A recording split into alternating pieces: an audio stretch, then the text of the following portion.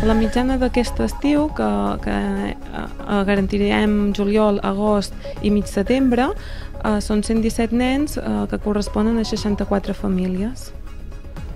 Aquest és el nombre de persones que poden accedir a aliments frescos a la Garrotxa durant l'estiu gràcies a l'ajuda de Creu Roja i el Consorci de Benestar Social. El projecte arriba a més d'un centenar de nens i nenes que veuen perillada la seva nutrició en aquest període de l'any al no poder quedar-se al menjador escolar.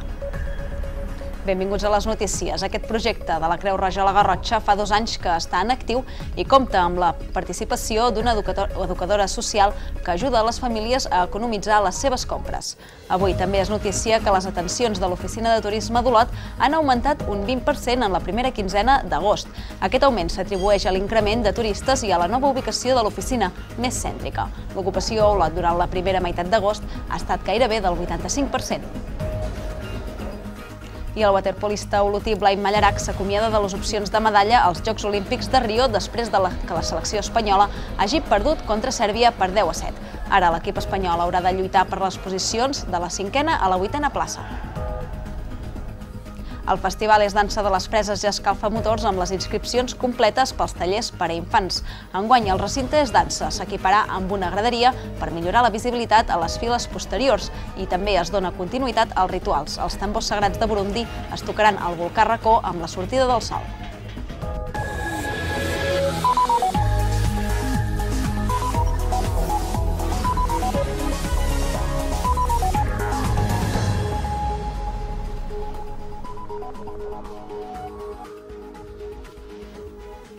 117 nens i nenes de la Garrotxa tenen accés a aliments frescos durant l'estiu gràcies a la Creu Roja. L'entitat comarcal du a terme des de fa dos anys un programa d'ajuda a 64 famílies amb infants que no poden garantir la nutrició correcta als seus fills. El projecte neix de la necessitat de poder donar producte fresc als menors fora del període escolar, quan això s'assegura als menjadors dels centres. Cada estiu, quan les escoles acaben el curs, arrenca un problema per a moltes famílies. Les cuines dels menjadors escolars garanteixen la correcta nutrició dels alumnes. Una alimentació que pot veure's troncada durant les vacances, perquè no tothom té els recursos suficients per comprar producte fresc, el que té un valor nutritiu més alt. Per aquest motiu, Creu Roja Garrotxa va iniciar fa dos anys un programa per tal de garantir l'alimentació durant el període estival. En aquest cas es tracta de nens i nenes que durant l'any, durant el curs escolar, estan becats en els seus menjadors escolars i en, en, aquí ja hi tenen el seu aport d'alimentació fresca doncs, pertinent. No?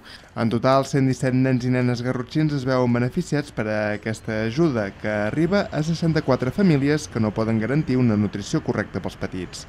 En aquest pla hi col·labora el Consorci d'Acció Social de la Garrotxa i també compta amb l'ajuda d'una educadora que intenta millorar els hàbits de compra dels que participen al programa. A més a més, és un projecte que, que contem amb, amb el suport d'una educadora social que visita les famílies. Aquesta educadora és dels serveis socials, que ja coneix aquestes famílies i els ajuda doncs, a, a, a millorar les seves compres o a fer-les al màxim d'eficients.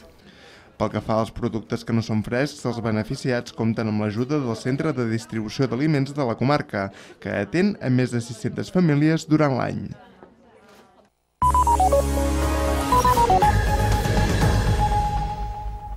Sí, ahir els explicàvem que el turisme ha augmentat a nivell garrotxí durant aquest estiu i els donàvem les dades d'ocupació a la comarca. Avui s'han fet públiques les dades a nivell olotí. L'Oficina de Turisme d'Olot ha atès 2.806 persones durant la primera quinzena d'agost i l'ocupació als establiments de la ciutat durant aquest mateix període ha estat gairebé del 85%. L'oficina de turisme d'Olot ha augmentat les atencions un 20% durant la primera quinzena d'agost, si es compara amb les dades del mateix període de l'any passat. En total s'han atès 2.806 persones. Aquest augment de visitants a l'oficina olotina ja s'havia notat al juliol, amb un 6,1% més d'atencions. Aquest augment s'atribueix a l'increment de turistes d'aquest estiu i també a la nova ubicació de l'oficina de turisme d'Olot, més cèntrica. El fet de tenir una oficina de turisme molt ubicada en el centre de la ciutat, amb molt més visibilitat, una oficina doncs, més àmplia, amb millor servei, doncs, ha fet que molta més gent s'hi apropi i que puguem doncs, no només atendre més gent, sinó també la podem atendre amb molta més qualitat, donant molta més informació, no només de la ciutat, sinó també de tota la comarca. Amb aquestes dades es confia que durant tot aquest agost s'arribin a les 4.000 atencions, aproximant-se a les xifres de l'any 2012. L'augment de visitants suposa també més ocupació a la capital garrotxina. La primera meitat del mes els establiments turístics han estat al 83,6% d'ocupació, una xifra que és un 8% superior a la de l'any passat i supera en un 30% l'ocupació obtinguda el 2010. Realment són unes dades molt i molt positives, amb gairebé un 85% d'ocupació, estem parlant de les millors dades dels darrers 5 anys en un mes d'agost, per tant el que confirma doncs, Olot i la Garrotxa com un destí ja turístic eh, completament madur. Pel que fa al perfil de visitants, han augmentat les famílies i l'interès és cada vegada més per fer senderisme o cicloturisme. És un perfil també de persones que eh, cada vegada venen més interessats pel turisme actiu, que vol dir doncs, anar en bicicleta, fer activitat de caminar, o sigui, gaudir de moltes activitats que es fan a la ciutat i a la comarca. És un turisme que mm, cada vegada hi més eh, expressament a Olot i a la comarca, que no és de pas, eh? aquí també notem un increment, i finalment eh, és un turisme que cada vegada es queda més dies, eh? gairebé puja un 10% el nombre de famílies que es queden eh, 4 o més dies a, la ciutat a la comarca, i que vol dir doncs, que també gasten més diners a la nostra ciutat i a la nostra comarca i que per tant el benefici per a tots els actors del sector turístic doncs, és més important. I l'estiu és també sinònim de rebaixes. Els comerciants d'Olot valoren la campanya dut a terme fins al moment de manera positiva. El bon temps que ha fet durant aquestes setmanes i l'increment del turisme estranger ha beneficiat el volum de vendes al centre de la ciutat. El mal temps dels mesos de maig i juny va fer que les rebaixes d'estiu comencessin un xic fluixes, però juliol i aquesta meitat d'agost han estat uns bons períodes per als comerciants d'Olot.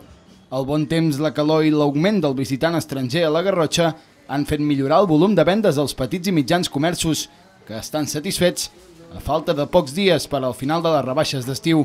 Aquest any les rebaixes penso que han anat bastant, bastant bé.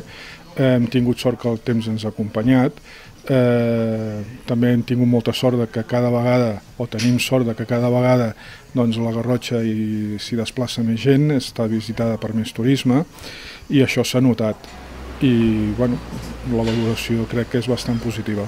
Ara ja s'estan acabant, ara ja comencem la majoria de les botigues a, a començar a posar doncs, la roba d'hivern, ja però bueno, les rebaixes ens queden encara 15 dies amb la botiga al carrer i que esperem que puguem acabar d'eliminar de, estocs i que vagi bé. Els dies de pluja també han afavorit les vendes, per exemple, de paravents en botigues de roba esportiva, mentre que la resta de negocis s'han beneficiat sobretot del calçat i la roba d'estiu. Caldrà veure si la valoració encara és més positiva al final d'aquest període de rebaixes, que conclourà amb la botiga al carrer.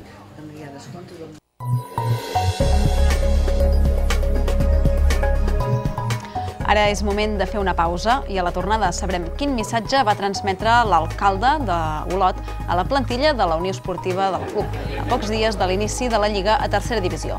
Aquest és un acte tradicional que es du a terme a la Unió Esportiva Olot des de fa anys i que enguany s'ha volgut seguir fent. Després de la pausa també passarem per algunes de les exposicions de la Bienal Olot Fotografia que es pot visitar a la ciutat durant tot el mes. De seguida tornem. Fins ara.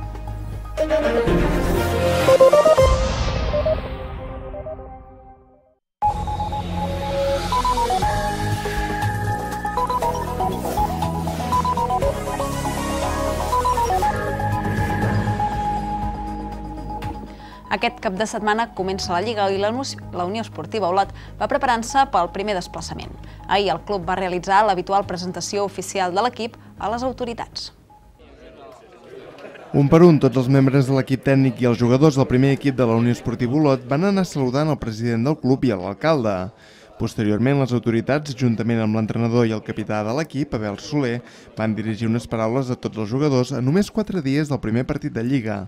L'alcalde Josep Maria Coromines va destacar la plantilla jove i amb els jugadors de la comarca que s'ha format pel repte a tercera, mentre que el president del club va remarcar que és un honor formar part de la Junta Directiva de la Unió Esportiva Olot. Nosaltres és un honor estar com a directius de l'entitat i és un honor tant si estem a primera territorial com si estem a preferent, com si estem a tercera divisió, com a segona B. Per tant, hem passat moments, vam recollir l'entitat en uns moments molt complicats i amb l'ajuda de molta gent, de molts aficionats i fent un projecte de ciutat, doncs doncs avui tornem a estar per 27a vegada a tercera divisió, una divisió amb la que hem guanyat quatre campionats i tant de bo puguem lluitar per guanyar el cinquè. Home, jo espero que lluitarem per ser campions de tercera divisió. Vaig ser molt feliç l'any que vam ser campions i espero que tornem a estar allà dalt de tot. Jo crec que una bona plantilla. I, a més, eh, hem tornat una mica en aquella tradició que hi ha molta gent de la comarca, que suposo que la categoria ho permet i a les altres categories no, eh? Però que torno a veure un, una plantilla amb molt de gent, amb molt de gent de la casa, amb molt de gent de, de que ha estat jugant doncs, a molts equips de la comarca i això crec que és, que és molt important. Eh? I la gent... Després també m'ha semblat ara els conèixer directament els jugadors, molta gent jove i això crec que també està molt bé. Uh, al final la, la Unió Esportiva Olota ha de ser això, una escola de valors, una escola de, de professionals que després es dedicaran a moltes coses diverses però que aquests valors com a personals mantindran sempre i per tant crec que és un molt bon, una molt bona plantilla que espero que tingui molt bons resultats. Aquesta presentació de l'equip a les autoritats és un acte tradicional del club que es fa just abans de l'inici del curs i en el que també hi van parlar l'entrenador i el capità. Van comprometre's a deixar-se la pell en els partits per aconseguir l'objectiu de la temporada, lluitar per guanyar el títol de Lliga i, per tant, lluitar per tornar a pujar a la segona B. En futbol, encara el Sant Privat va ser eliminat dissabte de la Copa Catalunya Amateur. El Palafugell va ser el butxí dels, guig, dels garrotxins que van perdre 0 a 2. S'acaba així la trajectòria del Sant Privat per aquesta competició, només apta pels campions de les categories federades del futbol català. El Sant Privat va guanyar la Lliga del grup 27 de quarta catalana i va poder superar una ronda fins a trobar-se amb el Palafrugell, que enguany disputarà la segona catalana. Canviem d'esport i és que els quarts de final estan sent fatídics per la delegació espanyola a Rio de Janeiro i també per Blai Mallarà, que ho han set. El waterpolista Garrotxí va caure eliminat en aquesta fase ahir davant la totpoderosa Sèrbia per 10 a 7 i s'acomiada de les opcions de medalla en aquests Jocs Olímpics. Ara l'equip espanyol haurà de lluitar per les posicions de la cinquena a la vuitena plaça quarts de final són sinònim d'eliminació en moltes disciplines per a la delegació espanyola en aquests Jocs Olímpics de Rio de Janeiro i per a les dues seleccions de waterpolo, la masculina i la femenina, aquesta fase ha estat fatídica. Blai Mallarac s'acomiada dels Jocs Olímpics després de fer una fase regular gairebé immaculada amb la selecció i precisament aquest bon paper en la primera part de campionat els va condemnar a enfrontar-se amb una de les grans favorites, la Sèrbia de Filippo Vikimandic, que va fer un paper molt discret i va quedar emparellada amb la selecció estatal. El partit no va tenir massa història en els primers tres quarts. En el darrer període, Espanya es va anar acostant en el marcador, però Màndic va ser el butxí d'una selecció que va despertar del seu somni olímpic a Rio de Janeiro. Ara Mallarac i el seu equip hauran de lluitar per la cinquena plaça en uns partits que ningú té cap ganes de jugar i acte seguit tornaran a casa, malauradament, sense cap medalla penjada al coll.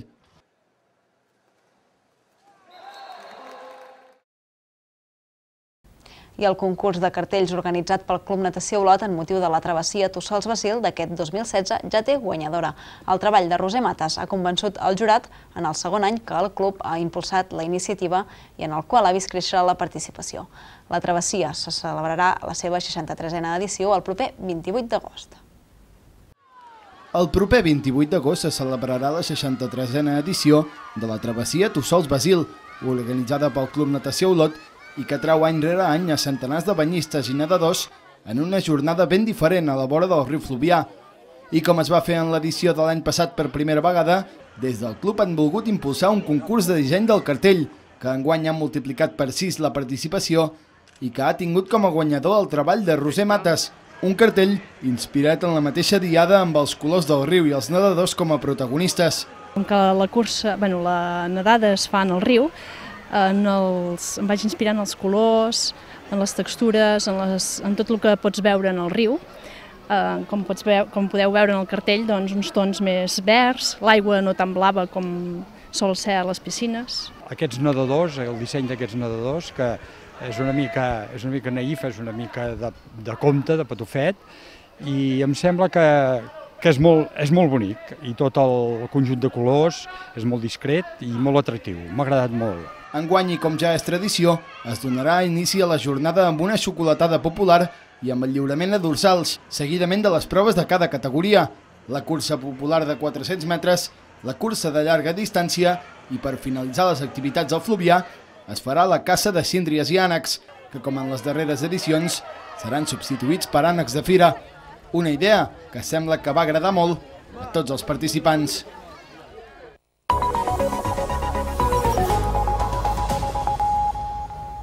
El compte enrere per donar el tret de sortir del Festival Internacional de Música i Dansa de les Preses ja ha començat. Queda menys d'una setmana perquè l'Es Dansa ompli aquest municipi garrotxí de dansa d'arrel tradicional d'arreu del planeta.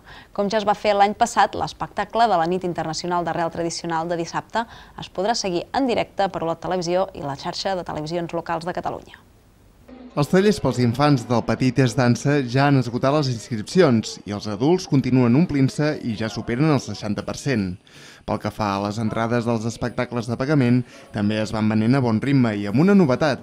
Després que l'any passat es numeressin les localitats del recinte, enguany s'ha instal·lat una graderia per millorar-ne la visibilitat a la part posterior. Després de que l'any passat, per exemple, per l'espectacle del dissabte hi hagués ja el 100% d'aforament venut, eh, les files, sobretot la part, l'últim terç o la meitat de darrere del recinte, la visibilitat és molt dolenta, el que hem fet aquest any és, és posar-hi una graderia.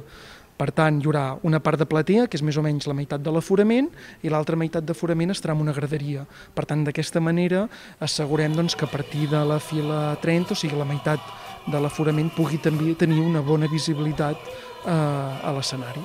La graderia permetrà que els espectadors de la part posterior del recinte és dansa puguin apreciar amb més detall les actuacions de les sis companyies internacionals que visitaran el festival.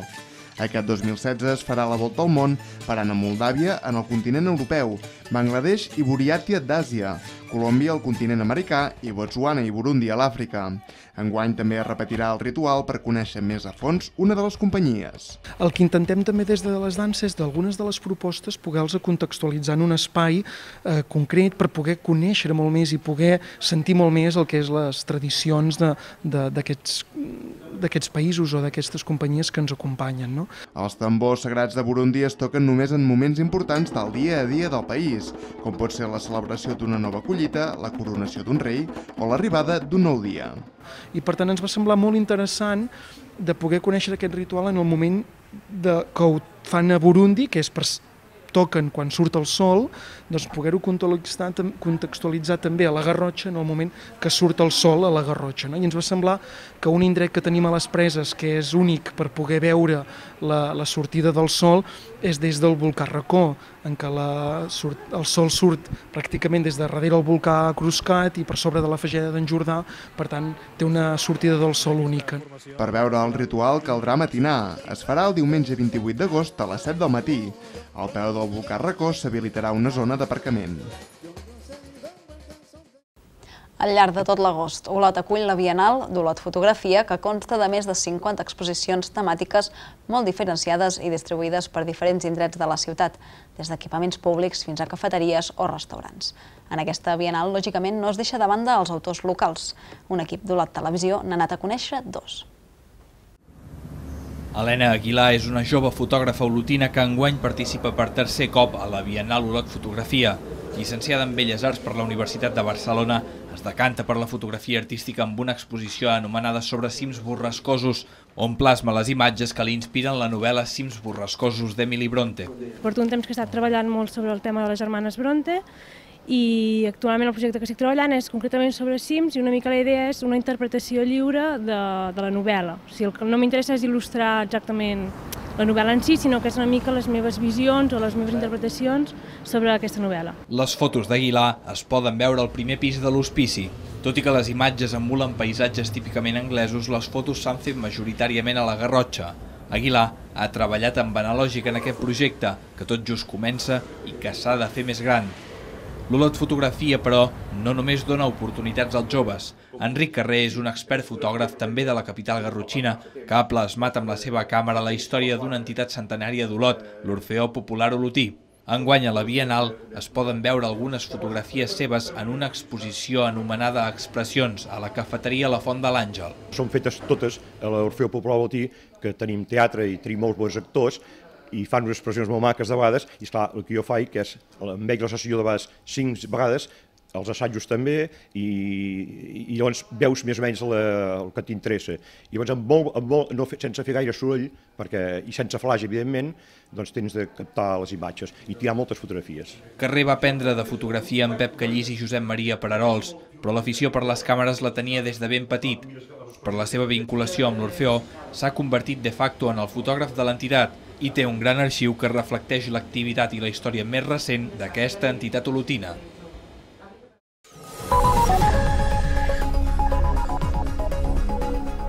La situació meteorològica a curt termini continuarà marcada per la inestabilitat de, de tarda. Avui i també demà es tornen a esperar ruixats de caràcter moderat i que localment podrien ser forts i anar acompanyats de tempesta. Les temperatures mínimes es mantindran sense variacions, mentre que les màximes recularan una mica. En uns minuts, Roger Soler els amplia aquest pronòstic en l'espai del temps. Abans, però, nosaltres acabem amb un resum de les notícies més destacades de l'edició. Creu Roja la Garrotxa i el Consorci de Benestar Social ajuden a aconseguir productes frescs a 64 famílies durant l'estiu, per tal de garantir la bona alimentació a més d'un centenar de menors. Una educadora social també assessora les famílies perquè facin compres més eficients. Les atencions a l'oficina de turisme d'Olot han augmentat un 20% en la primera quinzena de juliol. Aquest augment s'atribueix a l'increment de turistes i a la nova ubicació de l'oficina, més cèntrica. L'ocupació a Olot durant la primera meitat d'agost està gairebé del 85%. El waterpolista olotí Blai Mallarac s'acomiada de les opcions de medalla en els Jocs Olímpics de Rio després que la selecció espanyola perdés contra Sèrbia per 10 a 7. Ara l'equip estatal haurà de lluitar per les posicions de la cinquena a la vuitena plaça. El Festival és Dansa de les Preses ja escalfa motors amb les inscripcions completes pels tallers per a infants. Enguany el recinte és Dansa s'equiparà amb una graderia per millorar la visibilitat de les files posteriors i es dona continuïtat als rituals. Els tambors sagrats de Burundi es tocaran al volcà Racó amb la sortida del sol. Això és tot. Ja saben que totes les informacions que els hem fet arribar avui les poden recuperar a les xarxes socials d'Olot Televisió i també a la pàgina web www.olot.tv. En aquestes mateixes plataformes poden mantenir-se al dia de les darreres notícies que afectin a la Garrotxa. Adéu-siau.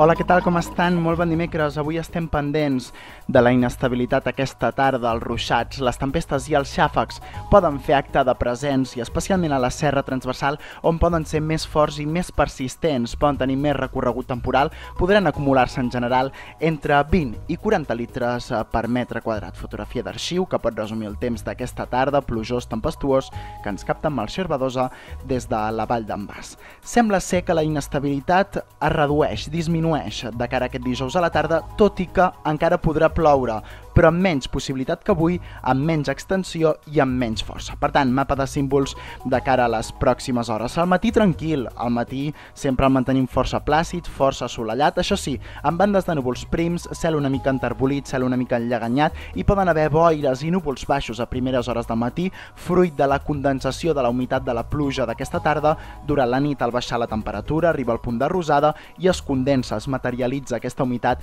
en forma d'aquests núvols baixos i d'aquestes boires que deixen un ambient humit, un ambient una mica invisible a primeres hores, especialment aquestes boires vessant per la serra transversal. Es desfaran ràpidament, matí tranquil, una mica ja variable a la vall d'en Bas, a Riudaura, a la vall de Bianya, tota l'Alta Garrotxa, ja un matí amb creixement de nuvolades que a la tarda seran més extenses. La tarda serà una mica insegura, amb nuvolades més actives, amb nuvolades més gruixudes, allò que sembla que hagi de caure una tempesta molt forta però no acaba de ploure, nuvolades de tot arreu que deixarà l'ambient entre variable i tapat, un ambient carregat, gris i amb possibilitat d'algunes tronades irregulars, anàrquiques i de distribució, això, molt irregular i de curta durada, més probables a la Vall de Bianya, Riu d'Aura, allà pot caure algun xàfec fort, puntual, però de curta durada, també ruixats i gotellades de poca estona a la Vall d'en Bas, a la Plana d'Olot, a la zona volcànica de la Garrotxa, Sant Iscle de Colltor, a la Vall de Llemena i també a la Vall d'Hostoles, a Sant Feliu de Pallarols, a les Planes,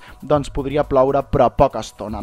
Menys possibilitat de precipitacions a Mieres, a Besalú, a Beuda i tota la zona nord-est de la comarca. Per tant, una tarda ennuvolada, amb menys tempestes que no pas avui i aquestes si cauen seran més puntuals i de distribució més irregular. Temperatures mínimes que no varien, les temperatures màximes poden pujar un esglaó, 2 o 3 graus, fins als 33 graus. Marcaran els termòmetres a Besalú, 30 a Olot, 30 també a la Vall de Bianya, 28 graus, compartiran els termòmetres de la Vall d'en Bas i de les planes d'Hostores. La resta de comarques de Girona també tindrem menys inestabilitat que no pas aquesta tarda. Tempestes menys extenses, més puntuals i més irregulars en forma de gotellades, tronades de mitja tarda, de curta durada, el Ripollès, també punts de la comarca d'Osona, l'interior de la Selva, prelitoral nord, Montseny, Serralada transversal i Cabrerès. Serien menys probables a la resta, tot i que el Pla de l'Estany no es descarta alguna gotellada, així com a l'interior muntanyós de l'Alt Empordà. Durant aquesta jornada, a la tarda, no esperem tempestes a la Cerdanya, amb creixement de nuvolades i un temps més plàcid a la Costa Brava, això sí, amb cel enterbolit i amb bandes de núvols prims. Temperatures mínimes que no varien, les màximes tendeixen a pujar, farà més calor al migdia i més sensació de xafogó. Les temperatures aquesta setmana toquen sostre divendres, màximes que podran fregar els 34-35 graus a Mieres, a Castellfollit de la Roca i també a Besalú, amb un temps plàcid, sense possibilitat de tempestes, però amb un cel enterbolit i amb algunes nuvolades de tarda desenvolupant-se a l'Alta Garrotxa sense ser energètiques com per deixar tempestes. Dissabte i diumenge el mercuri afluixa una mica, baixen 2 o 3 graus les temperatures, amb un cap de setmana que es presenta assolellat i càlid, però no tan plàcid i no tan assolellat com el cap de setmana anterior, perquè diumenge sí que esperem un ambient variable, una tarda més ennuvolada, però en principi un cap de setmana sense possibilitat de precipitacions. El dia més assolellat del cap de setmana serà dissabte, això sí, amb bandes de núvols prims i amb aquestes nuvolades nuvolades creixent al nord-oest, tant a la Vall de Bianya com a l'Alta Garrotxa. Nuvolades com aquestes, obrim finestra exterior i sortim per veure aquests núvols creixent al Coma Negra, a l'Alta Garrotxa, que van acabar desembocant amb tempestes, també l'interior de l'Alt Empordà, fotografia que ens capta en Ramon Calvet. Aquestes nuvolades van ser desenvolupades i van acabar deixant ruixats i tempestes. Aquesta fotografia es pot repetir demà a la tarda amb alguns ruixats de curta durada, no extremadament forts, quantitats de 5 a 10 litres per metre quadrat, rajos crepusculars a la posta de sol des de la Vall d'en Bas, amb un cel bastant tapat. Demà també es pot repetir aquesta imatge perquè creixeran les nuvolades a la tarda i deixaran una tarda més aviat grisa, amb algunes clarianes esporàdiques. Fotografia que ens capta amb el Badosa, el Toni Morente des del salt del Sallent, aquesta excursió amb un temps força plàcid que podrem repetir de cara a aquest cap de setmana i l'última última imatge, la Núria Vilavella des de Blanes, imatge d'arxiu que encara denota que estem a l'estiu, que fa calor, que continuarà fent calor de cara als pròxims dies amb aquestes petites inflexions que els estem explicant que hem patit de les darreres hores, però en definitiva no estem tenint temperatures baixes ni molt menys, estem tenint temperatures normals, un estiu que s'està comportant tal i com ha de ser, amb aquest ruixatge amb aquestes tempestes que també són habituals aquesta segona quinzena del mes d'agost. Nosaltres ens acomodem aquí, que vagi molt bé fins demà.